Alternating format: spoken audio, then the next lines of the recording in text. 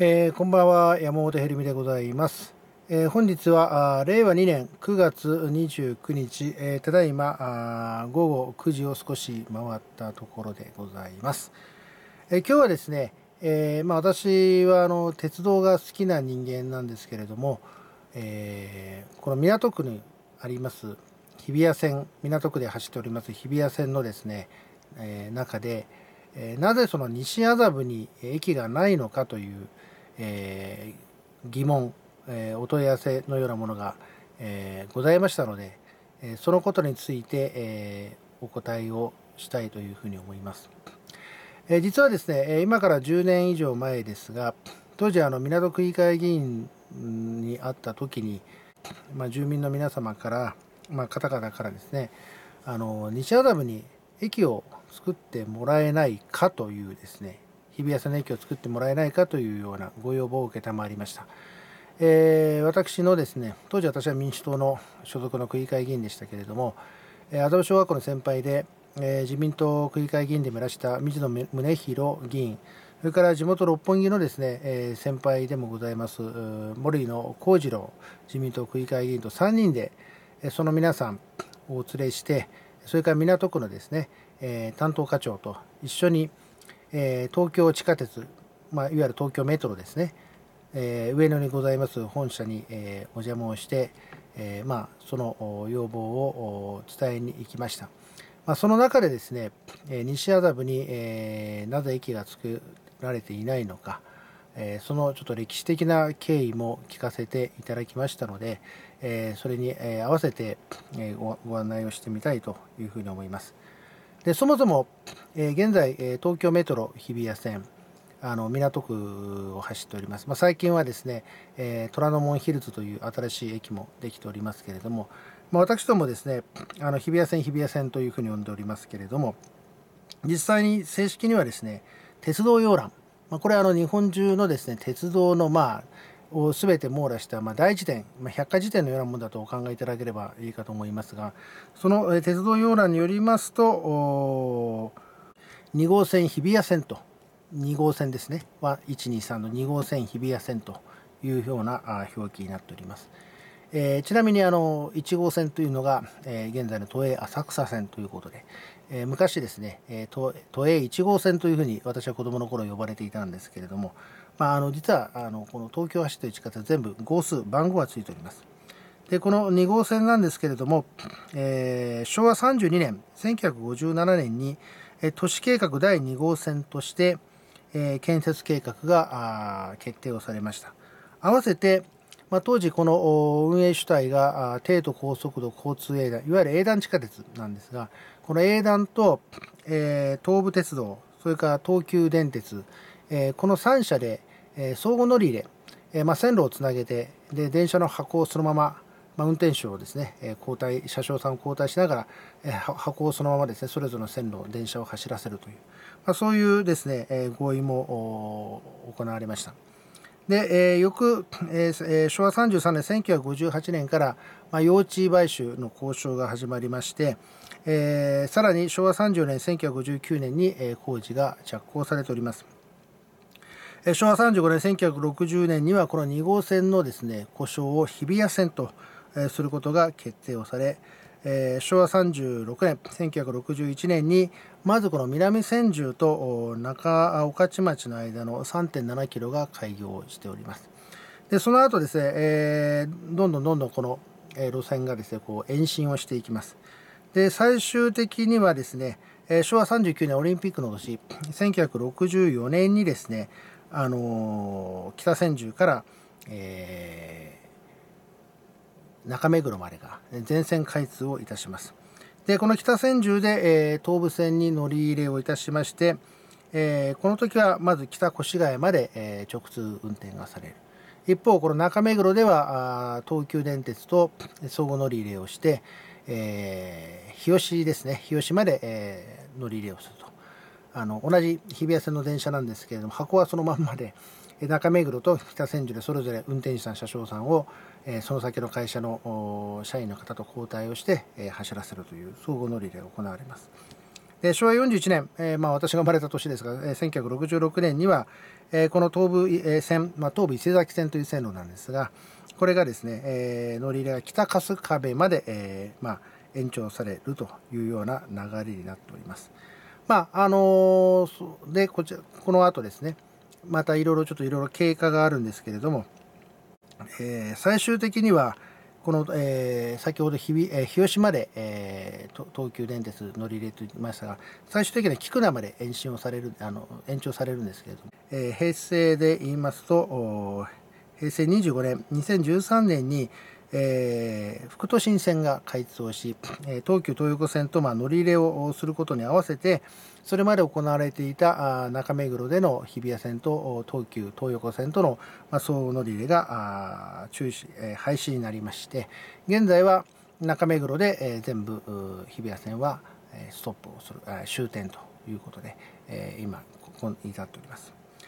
でさて、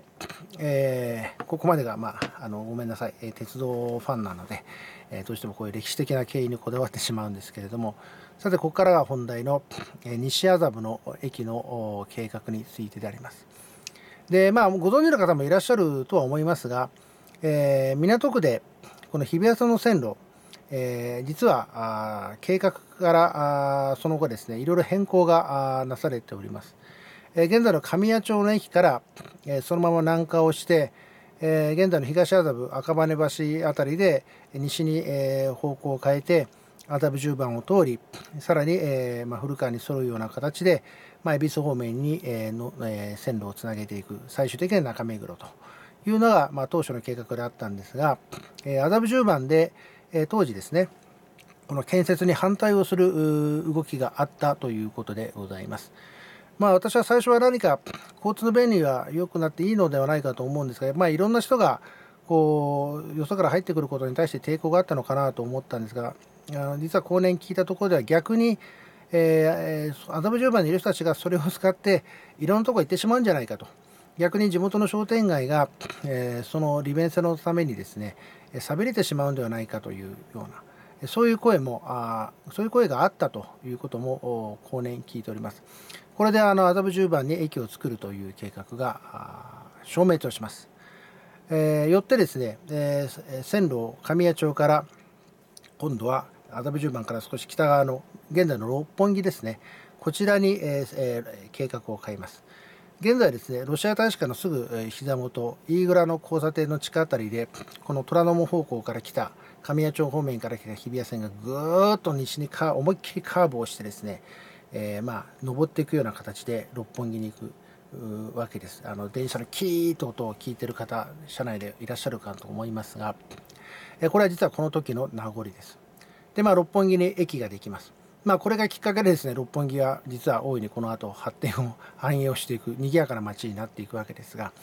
えー、さて六本木まで来た線路をもう一度ですねこの恵比寿方向に戻すためにどこかで南にもう一度進路を変えなければなりません。でまあいろんなあの検討策はあったんですが最終的には西麻布で、えー、六本木通り現在六本木通りからぐーっとこう南に降りるというような形になったわけです。えー、電車乗ってるとお気づきの方もいらっしゃると思いますが、えー、実は交差点これほぼ90度にこうカーブをします。しかもですねこの西麻布というのは、えー、昔皆さんも社会科で習った方小学校の時習った方いらっしゃると思いますが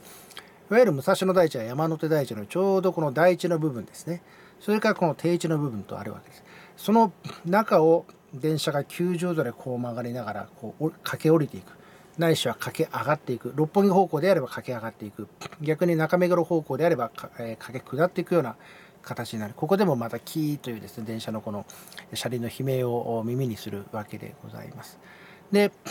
そのまま降りて恵比寿に使うんですがこの計画の変更によりまして、え六本木に新たな駅を作ることになってで六本木西麻布羽沢恵比寿というような案が、え一時上がりました。なので実は西麻布に駅を作る計画は実は実在をしていました。はい、ところが今度は西麻布で、えー、これはちょっと理由は定かでありませんが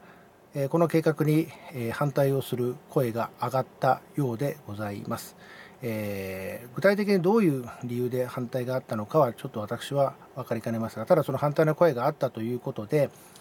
え結局のところですね西麻布の計画がなくなるんですがそうなりますとこれやっぱり鉄道の駅ですねやっぱりいろいろ利便性を考える中で駅と駅の距離間隔というものが非常に大事になっているもし西麻布に駅がなくなりますと六本木から一挙にですねこの恵比寿まで行く、まあ、途中羽沢までなんですが結構駅と駅の間の距離ができてしまうということが問題視をされたようでございます。まあ、そういう中で、えー、妥協策としてその当初の予定であった西麻布と それから羽沢との間に駅を作ろうとこの2つの駅を合体させてできたのが現在の広尾駅であります。で、えー、この広尾駅を作るのも結構大変でしてですねあのこの広尾駅をご利用な方あれお気づきの方もいらっしゃると思いますが六本木から来て広尾からさらにこれ恵比寿に向かう時にですね思いっきりこの線路がカーブをしていきます。ほぼ90度にカーブをしていきます。そのカーブのギリギリのところにですね、えー、まあ、駅を作ったというわけですね。でさらにもう一つ問題があったのはもうすでに暗渠化されていたんですがもともと広尾のところ川が流れております、えー、郊外川。あ郊外っていうのはこの町の外れの郊外ではなくて、えー、髪の毛の櫛の方の郊外ですね。あの昔麻布郊外町という地名もありましたし今も港区立郊外小学校という学校がございます、えー、その郊外の川郊外川というのが流れ、まあ、当時はもうすでに暗渠化をされていたんですがこれがあるがために、えー、この、えー、川の流れ、まあ、土管です。暗渠化している位置も、えー、川の流れも変えさせてまでして駅を作ったというふうなお話を伺いました、まあ、結構大変だったんですね。でまあ疲労が駅ができたというのが、まあ、こういう結果になり、まあ、羽沢と西麻布の計画は、まあ、消えたわけでございます。ところが実は話はここでは終わりません。えー、羽田に関してはですね、まあ、あの単に計画が、えー、消えたということで終わったんですが、えー、西麻布については実は、えー、もう計画通りえー、トンネルを掘り始めていたようです。なので今更ですね、えー、駅が作らなくなりましたからというふうなわけにもいかないとりあえずその一定の地下空間を掘らないとですね、まあ、いろいろ計画上あるいは工事の進捗上まあ、いろんなですねあの発注だとか、まあ、人手の動員とかいろんなことがあって、まあ、今更ですねそれを埋め戻すというわけにもいきません。そこで西麻布に、えの計画を変えまして、えここにですね留置線を引くことになりました。留置線というのは、まあ、あの留置所止めるに置くの線路と書きますが留置線まああの早い話はこれ車庫ですね。でここになぜ車庫を作ろうかと、まあ、もちろんその西麻布の駅の計画の名残なんですけれどもそれだけではありません、えー、実はこの地下鉄はですねえー、ちゃんとダイヤ通りあの運行あの、まあ、をさせるためにですね、えー、電車を適宜走らせていかなければいけない、まあ、当然のことなんですが実は日比谷線ですね北千住の方辺りには大きな車庫がありまして朝とかですね始発からどんどん北千住いわゆる北の方角から電車をどんどん中目黒方向に南下をさせることはできるわけですが逆に中目黒型中目黒方面では、えー、こういったあ、えー、車庫があまりないんですね。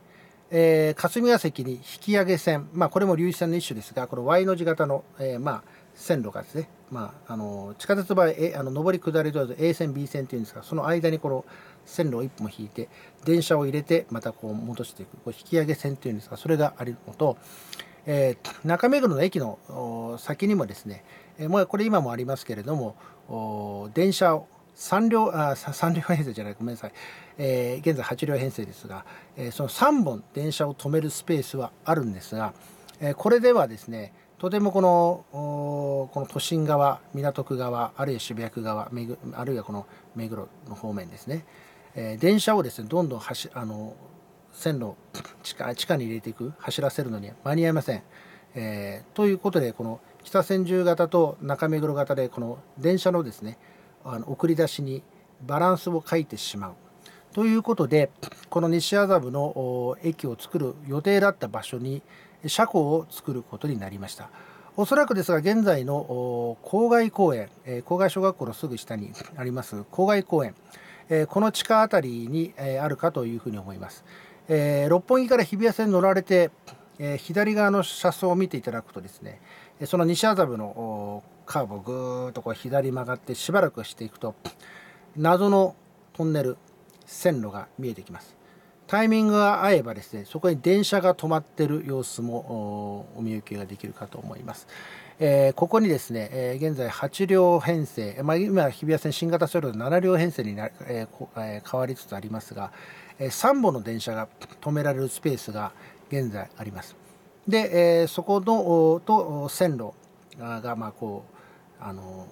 渡り線というですねこのポイントでつながっていてで、えー、最終的に広尾駅に入っていくような構造になっているんですけれどもこの西麻布の駅があったところが、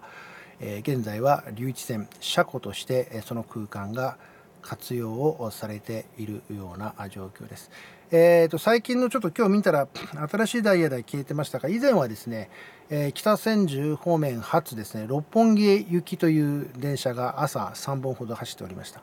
でこれは現在もあると思いますが中目黒発広尾止まり広行きというですね中目黒恵比寿そして、えー、広尾でわずか